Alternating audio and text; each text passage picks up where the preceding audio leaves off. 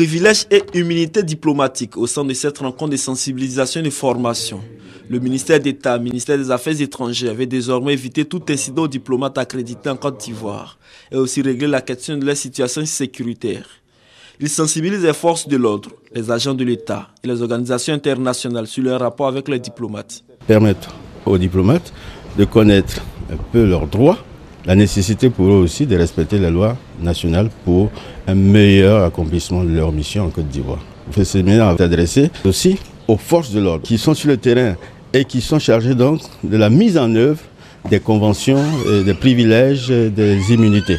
Donc, ils doivent faire leur travail en respectant effectivement ces immunités pour que le diplomate puisse accomplir convenablement sa mission. Ce séminaire vient renforcer les acquis de la rencontre de décembre 2011 tenue à Yamsokro sur le même sujet. Engagement est donc pris par la tutelle pour faciliter la mission des diplomates en Côte d'Ivoire.